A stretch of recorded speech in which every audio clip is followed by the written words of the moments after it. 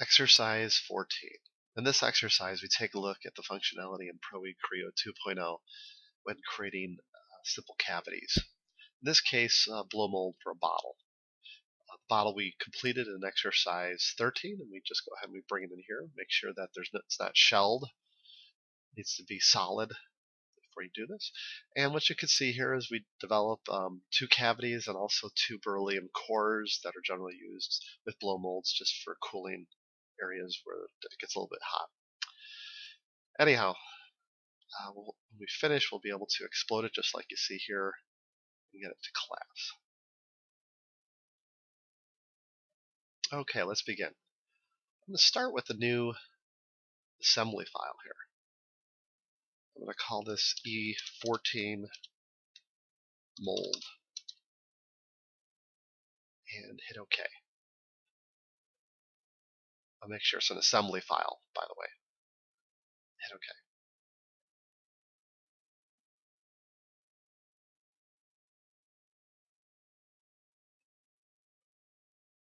We start off by going to assemble. Find the E13 part that we worked on. Hit open. Make sure you set it to default for the lock it into the origin of the assembly. Hit the green check mark to apply. Now we're going to go to create and we'll create a new part. This will be called E14 cavity A. Hit OK. Copy from existing inch, par inch pounds part solid. Hit OK. Up here again for placement, make sure it's set to default. Hit the green check mark to apply. Now what we're going to do is we're going to go ahead and activate that cavity. Right click on it, activate. Now we're editing the cavity part. So we could begin by selecting a plane, which you might want to do over here on the tree filters. Click on the little wrench and hammer, click on tree filters, turn on features just so you can see them. And if you don't have your planes on, you can turn them on if you like. In this case, might be easier to see where you're working at. But in this case, I'm going to go ahead and hit the little arrow to the left of the E14 cavity, select the front plane, and begin my sketch. I'm going to proceed with drawing a rectangle to completely envelop the model. In fact, I think I'm going to turn off my planes as they uh, might be causing more confusion than they're worth right now. Middle click a couple times. Set the parameters to 8 inches wide, 10 and a half inches high, 4 inches centered by 1 inch off the base.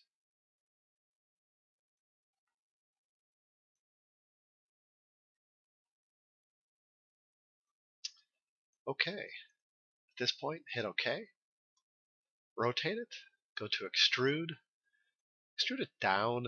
Depends on which which half you want to make first. I'll make the, the back side first. And this is going to be 2 inches thick. I'm sorry. I did the wrong digit there. Oops.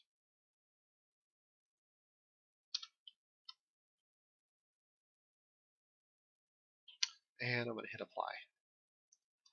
Now at this point, you have to activate the assembly. So right click on the assembly at the top and activate. Go to component, component operations. And what you're going to look for is the, uh, oh, by the way, uh, with your model, before you do this, you might want to make sure you go in and hide any surfaces or curves as they do come up. You might have seen it in the earlier um, picture I showed you, they do have a tendency to carry over into the next part, and they're kind of hard to hard to hide from that point. So they're actually easier to hide them while you have the bottle open by itself. So that might be something you want to do. Just right click on E13 part, open it up, hide the surfaces if they're showing up in other entities. Otherwise, don't worry about it. It's okay. Uh, it will still be, it'll still work. It'll just look a little funny because you'll see those surfaces in the cavity in the core that you create. Okay, but we select cutout here. And so I want this part to be the part that we're going to cut something out from. Hit OK, and then select the bottle as the part to be removed, the reference as it's called, and hit OK. And done, and done. Now to verify it, you can just simply hide this E13 part. So if you right click on it, select hide, you can now see we have the cavity created. Now this cavity tool doesn't work really well with complex molds. Uh, you're better off actually maybe looking at the tool. They actually have a mold Pro Mold module which allows you to create molds much easier than this. But for like a something like this, it, it actually doesn't work too bad. So anyway, yeah, there you can see a little line in the center that I didn't hide on the edge, but it's not a big deal. Okay, uh, if you have a big surface over the top, uh, it looks like the bottle's over the top still. It's simply because you neglected to hide that surface in your bottle that we used for an offset. Carries those things over. Okay, anyhow, at this point we want to make a beryllium insert that's going to go into this side uh, for heat dissipation. So I'm going to go to create and we'll go ahead and call E14 insert A.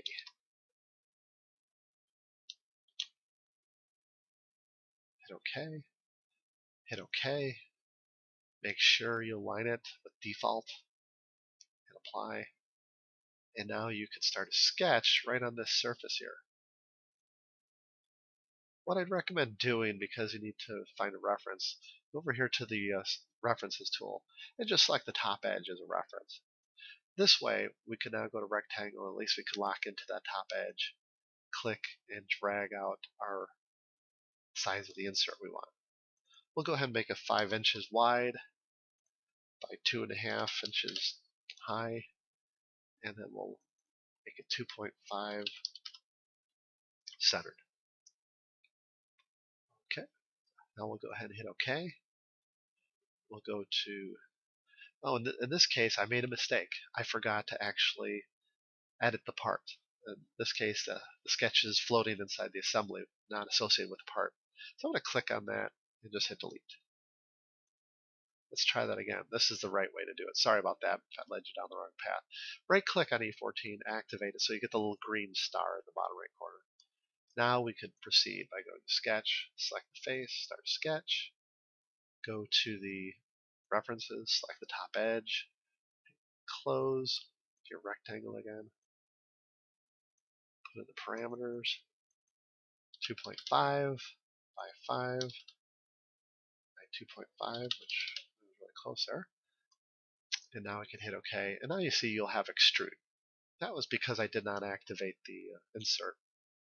Go to extrude, flip it down, or type in minus 1.5. But in this case, since I flipped it down, I was able to just type in a positive 1.5. Apply. And now we can see it there. Okay, at this point, uh, we just want to change the color a little bit because gray and gray is kind of hard to see. And Besides, it is beryllium, which is kind of looks like a bronzish color. It has bronze in it.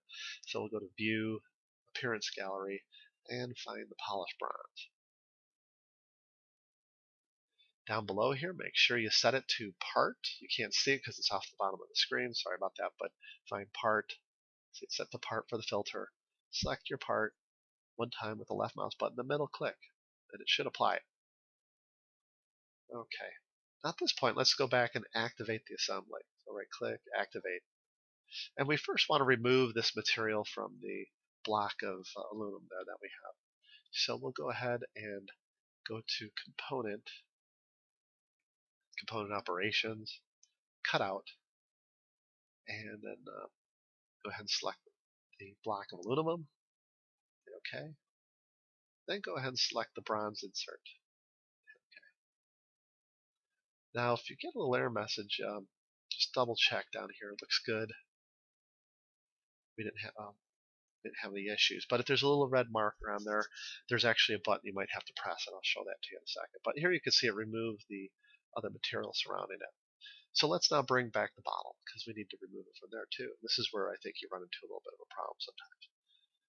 Unhide the bottle just by right clicking on E13 part. Now go ahead and uh, make sure you component, component operations. Just remember under E14 mold assembly has to be activated, so it's right click beforehand. Component operations, cut out. This time select the beryllium insert. Hit OK. Now select the bottle. Hit OK. Hit done. And done. And if we get a little error message, um, you can see, hit the little arrow here, and you'll see that there's a little message there that came up. Let's go ahead and right click and edit that definition. And what you need to do is click on, on this button, toggle inheritance. Turn on. That should correct it. There we go. So if you ever run into problems, just make sure toggle inheritance. And now if we hide the bottle, so right click on E13 and hide, we should see both have inherited the qualities of the bottle, subtracted that material away in a boolean of some sort. Okay, now it's just a matter of repeating those steps on the opposite side. So let's go ahead. We're going to uh, we bring back the bottle. Well, we'll leave it out. Okay, so uh, let's go to create, and we'll call this the E14 cavity Side. Hit OK. OK. Make sure it's set to default. Apply We'll bring some of these up so we're not working on the wrong one there.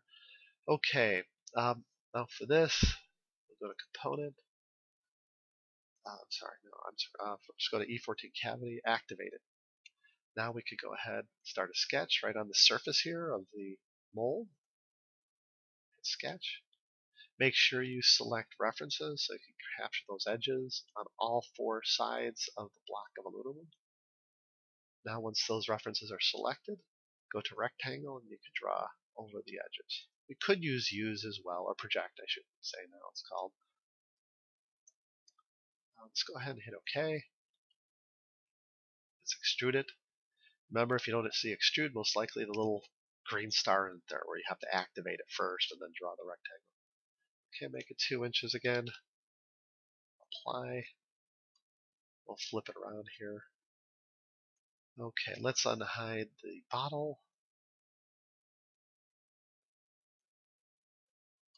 And now we'll actually hide the cavity, the first one.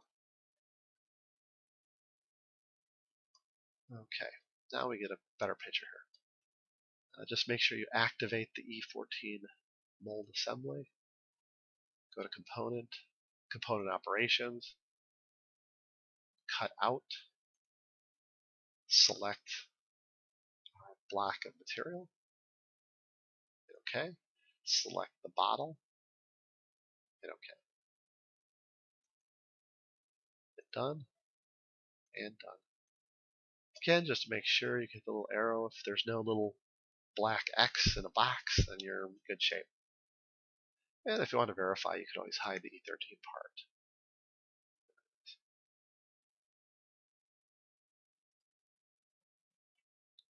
Okay, now for the next uh, entity. That's actually, um, we'll keep the beryllium core in place because we're going to use that same parameter to steal those edges. So let's go to, uh, let's go over here to create, and we'll call this the E14 um, core B. Okay, hit OK. Again, make sure it's set to default, green check mark. And this time we'll start a sketch on this face again.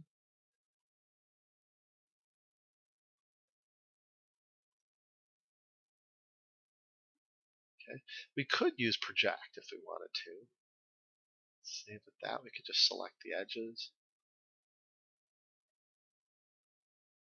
Close. And now go ahead and hit OK. And again, I've done the same thing, and I apologize. I'm battling a little bit of a cold here, so um, bear with me. I just need to get this done. Let me go ahead and delete that again. I neglected to right click on the core and activate it. There we go. Now I could go ahead, start my sketch on the surface, sketch, and again we'll steal the edges using project. Should get that rectangle there. Close, okay, and extrude. Extrude it the opposite direction, 1.5. So it's cutting into the part, or extruding into the part, not cutting. Okay, again, you might want to change the color there. So if you go to View, Appearance, uh, appearance Gallery, go ahead and select Bronze, Part, and then select that part, middle click to apply it. All right, and let's activate the E14 mold. I could go back to component, component operations. Let's select the beryllium insert. So the E14 core, uh, actually cut out. Oops, did I? Let's select the E14 core again, just to make sure I'm jumping ahead of myself there. Then go ahead and select the bottle.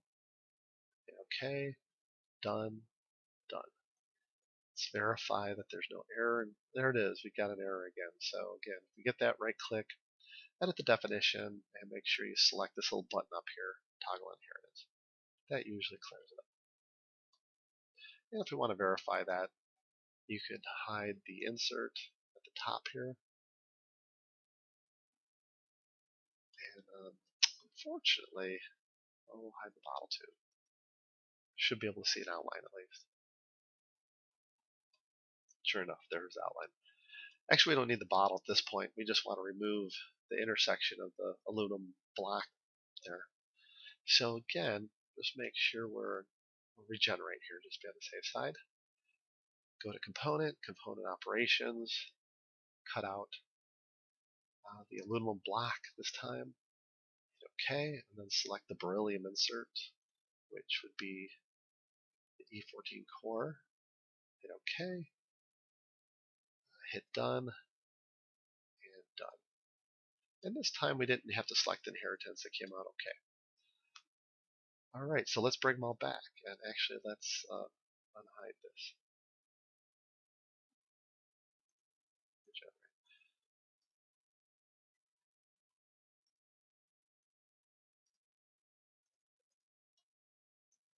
Okay, now that we have all the components, we could go to the uh, explode, which right over here, at a position.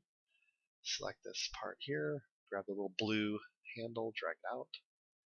Grab the beryllium insert, drag that a little bit. You'll see that some of the curves that it says I didn't hide them do show back up.